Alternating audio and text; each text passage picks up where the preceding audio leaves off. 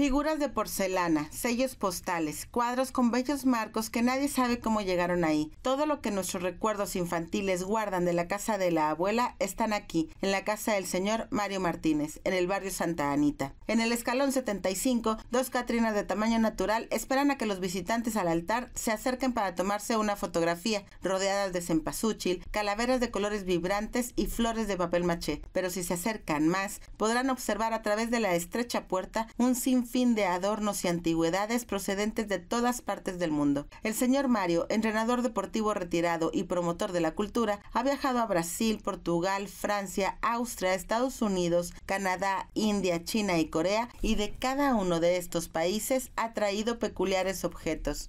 Que ha venido gente de, 17 países diferentes, en delegaciones por ahí. Eh, eh, básicamente son grabados, pinturas, colecciones, antigüedades, alguna que otra y cierta, algunas excentricidades también por aquí.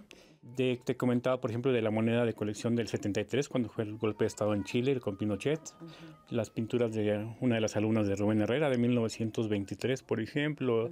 El reloj eh, que funciona con radiación, que, que Checas no tiene maquinaria, pero una impresionante cabecera estilo francés es parte del segundo cuarto, donde impera el arte sacro. Crucifijos, la última cena, la piedad, ángeles y vírgenes adornan hasta el último rincón de las paredes. El señor Mario ya tiene 20 años viviendo en esta casa y abre sus puertas a petición de sus amigos. Ahora, los visitantes al altar de Santa Anita pueden ingresar a este mágico lugar por solo 50 pesos, pero deben apresurarse porque el último día es este domingo 3 de noviembre y estará abierto de 7 de la a 2 de la madrugada. Con imágenes de Gerson Cardoso para Telezócalo, Maru Valencia.